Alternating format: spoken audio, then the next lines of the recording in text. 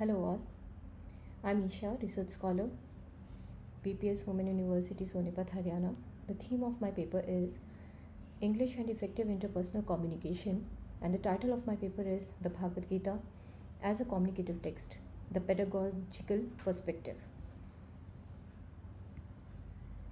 Introduction The Bhagavad Gita, set in the narrative frame of the Mahabharata, is a timeless text which presents the synthesis of various concepts such as dharma, truth, yoga, action, and devotion. It is a theoretical text which has an application value beyond time, space, and language because of its uniqueness, originality, infiniteness, and permanence. The art of applying spiritual truth in practical life has been revealed in the Gita.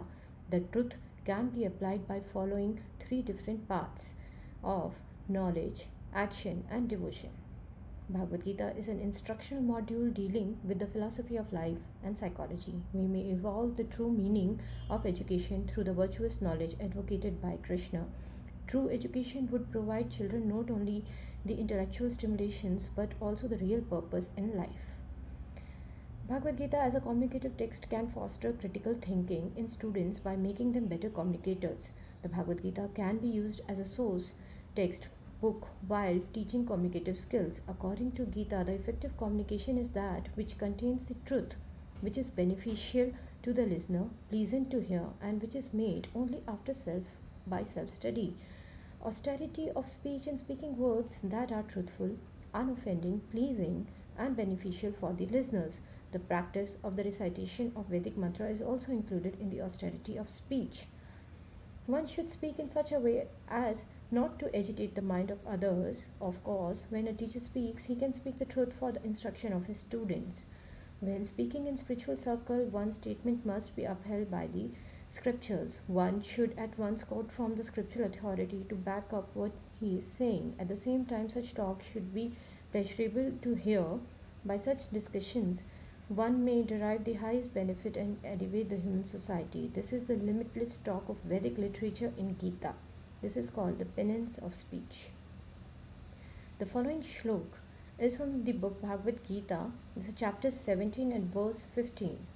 This verse says, The words which cause no annoyance to others and are truthful, agreeable, and beneficial, as well as the study of the Vedas and the other Shastras and the practice of the chanting of the divine name, that is known as the penance of speech.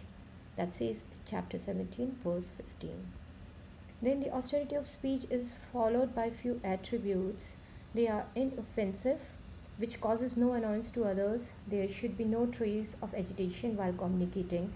The message should not agitate the mind of the listeners, nor should feel hurt or humiliated by the words of the executive. The function of communication is more communication is more than transmitting information. Truthful. They which conveys the correct idea of what one has seen, heard, or experienced whatever is communicated must be truth. The truth is a great human value propagated by all religious and spiritual leaders from the time immemorial. Agreeable, it should be free from pungency, schism, and artless. Beneficial, the words that are free from malice, violence, animosity, uh, and violence, and full of compassion and compliment. We listen to something only when it is relevant to us, useful to us, and important to us. It is human nature to always inquire what is there for me in that transaction.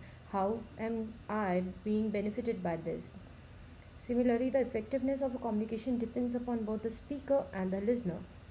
This is therefore an art, the art of communicating a message in a way the listener likes it and eagerly listens to it. Lord Krishna, uh, Jesus Christ, Buddha, and Ramakrishna Paramhans has mastered this art and they were excellent communicators wholesome.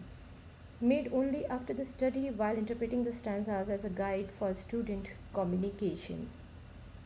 Students' communication. Self study should be understood to mean the study of books and material pertaining to one's own field of knowledge, acquiring proper study. This knowledge is acquired only after the proper study.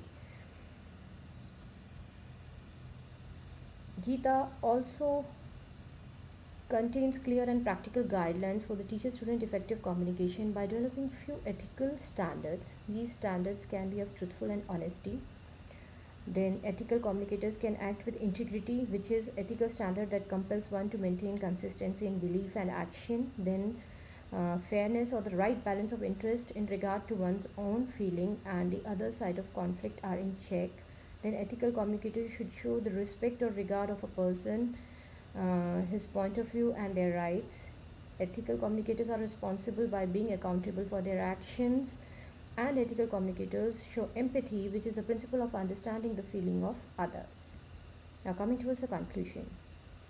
Communication is vital for teacher-student relationship. Bhagavad Gita, which is known as the Song of Divine, forms a part of famous Indian ethics Mahabharata and it consists of um, 18 chapters and 700 stanza. It is a paper in, in this paper an attempt is made to interpret one particular stanza of the Gita which contains the clear and effective guidelines for effective communication. According to Gita, effective communication is that which contains the truth which is beneficial to listener pleasant to hear and which is made only after self-study. In our country, most of the training and development programs are based on the training modules prepared by the westerns or adaptations of their writing. Knowledge flows through the study and words flow coherently in an attractive manner from a knowledgeable person. Hence, the Gita contains the clear and practical, practical guidelines for the teacher-student effective communication.